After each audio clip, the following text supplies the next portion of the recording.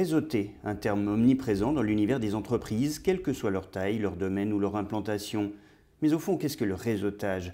Une question à laquelle ont répondu les quatre panélistes invités à la récente table ronde du Grand Genève.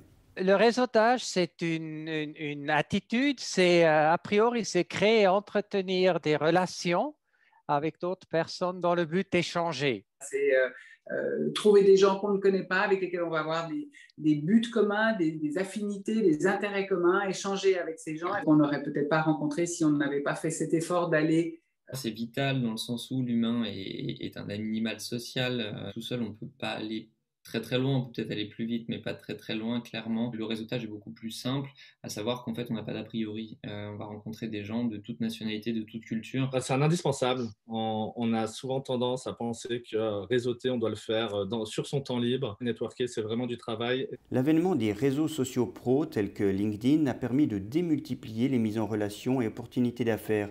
Néanmoins, il faut y refléter sa vraie image, selon Rudolf Klaus votre présence sur les réseaux sociaux définit votre crédibilité. La cohérence entre ce que vous dites et ce que vous montrez fait la différence. Et pour être efficace, le réseau virtuel doit être utilisé avec des codes précis, estime Véronique Riondel-Angebeau. Si l'objectif de, créer du contenu pour une entreprise sur un réseau, euh, c'est de mettre en avant son rapport à cette entreprise, euh, à ce moment-là, ça devient intéressant. Mais pour ça, c'est pas 80 pages de Bible euh, de comment il faut faire qu'il nous, faut, c'est qu'est-ce qui va déclencher de l'engagement par rapport à ce qui ne va pas en déclencher. Dans les réseaux en présentiel, il y a des attitudes à bannir à tout prix, comme l'explique Roma Crema. Ce que j'aime pas dans le réseautage, c'est le réseautage euh, pompier. C'est j'y vais parce que j'ai pas le choix, il faut que je fasse du business. Et on se retrouve avec des gens qui veulent vendre des choses à d'autres personnes qui veulent leur vendre des choses et finalement ils, repartent juste en échangeant leurs cartes de visite comme des cartes Pokémon. Il n'y a pas grand chose à la fin. Quoi. Même avis du côté d'Isham Metatla,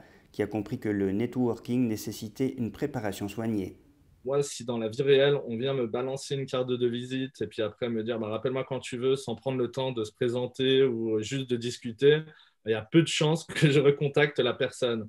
Mais si on prend le temps, eh ben là, ça peut euh, énormément changer euh, les choses. Mais réseaute-t-on de la même manière de part et d'autre de la frontière sur le Grand Genève? Pas vraiment, pour des raisons tant culturelles que géographiques. Les circuits sont assez courts, à l'image euh, du, du territoire de Genève. Côté français, euh, c'est un peu plus euh, étalé. Euh, du pays de Gex jusqu'à limite la vallée verte. Donc pour rencontrer les gens physiquement, c'est un peu plus compliqué. En conclusion, le réseautage doit refléter l'activité humaine et non être un support commercial de plus. Pour moi, réseauter n'est pas vendre. Quand j'ai compris que je regarde plus la personne en face comme un prospect, mais comme un partenaire potentiel, la vie a changé pour moi. À chacun désormais de se préparer à créer des échanges sincères qui, avec un peu de patience, sauront faire croître les affaires de l'entreprise et mener à de belles rencontres.